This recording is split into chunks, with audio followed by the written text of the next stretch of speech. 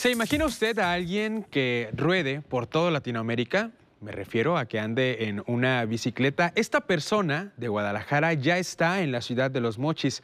Se trata de Rafa y esta historia nos la platica nuestra compañera Andrea Torres. Hay algunos amigos que ya me esperan en la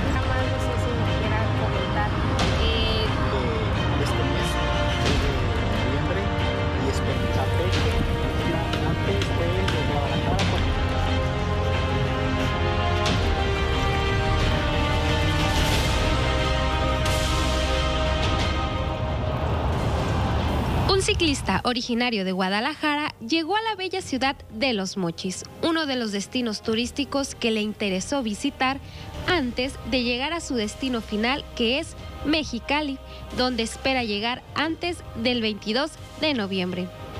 La aventura de Rafael Hueso, un hombre quien tiene un oficio, pero que en sus vacaciones recorre largas distancias, comenzó el 3 de noviembre.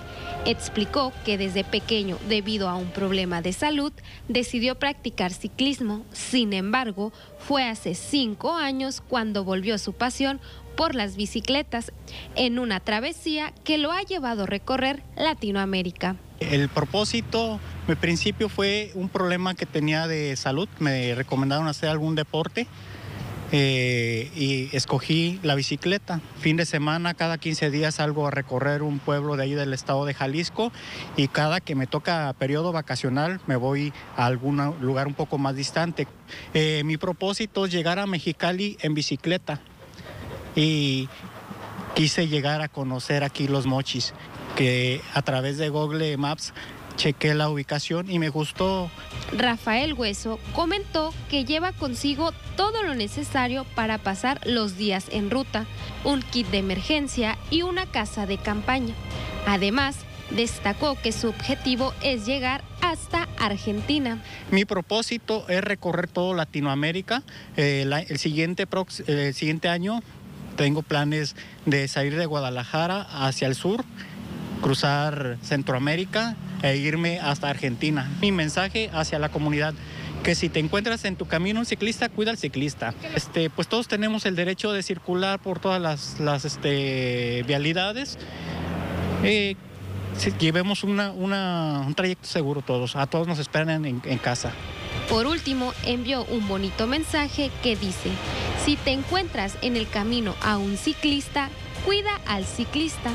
Puedes seguir su recorrido a través de las redes sociales bajo el nombre Rodando con Rafa. Salgo.